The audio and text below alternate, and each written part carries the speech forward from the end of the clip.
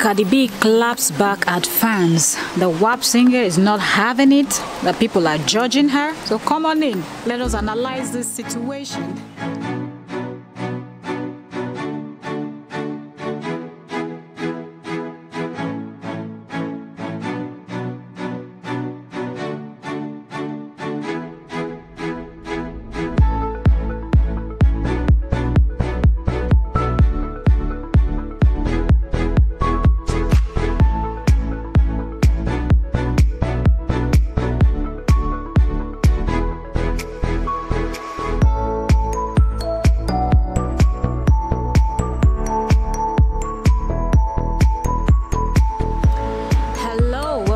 To my channel.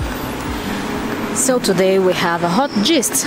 We're talking about Cardi B. If you're seeing this face for the first time, you just came across my channel for the first time, you're welcome with Trending Gist with Octavia Kora. Subscribe, like and share. I'm serving you the view from the island of Crete. So let's talk about Cardi B while you enjoy the beautiful view from the islands. Alright, so Cardi B claps back at fans that are judging her. Recently, as you know, Cardi B celebrated her birthday, her 28th birthday, and she was there with a lot of celeb that came to wish her happy birthday and celebrate with her. She was having fun when her estranged husband showed up and he brought her a very beautiful and expensive gift and everyone was screaming he had a beautiful Rolls Royce for her. That's what he bought her for her 28th birthday.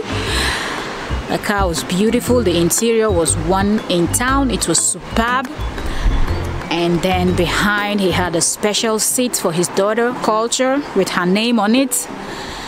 And Cardi B was doing the twerking stuff on him and people caught them kissing.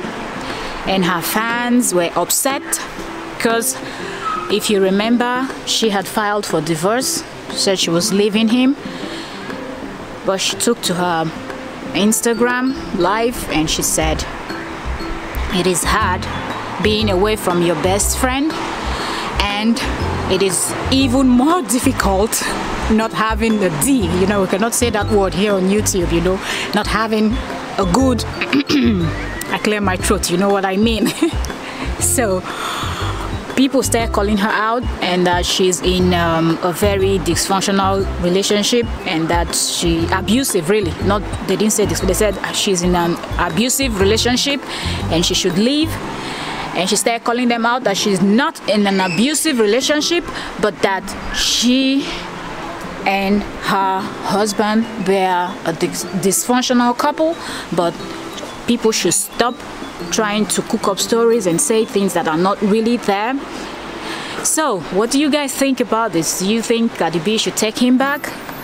In my own opinion it's none of our business. Let her do what she wants. She's saying she's not in an abusive relationship so i think there's nothing to be afraid of although some people are upset because offset is always cheating on her and people feel like she deserves better.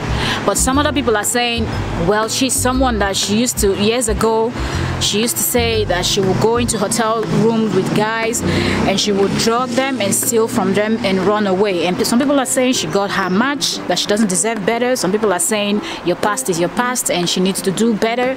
And that offset is not a good guy for her. And it seems like he knows her uh, weak point right now. So all he does is he cheats on her and he gets her a beautiful and very expensive gift that she cannot say no to because she loves material stuffs but according to her she's enjoying herself. She's having the best and um, offset is her best friend. So she's really this is someone that she's used to and I don't think it will be easy for her to just walk away.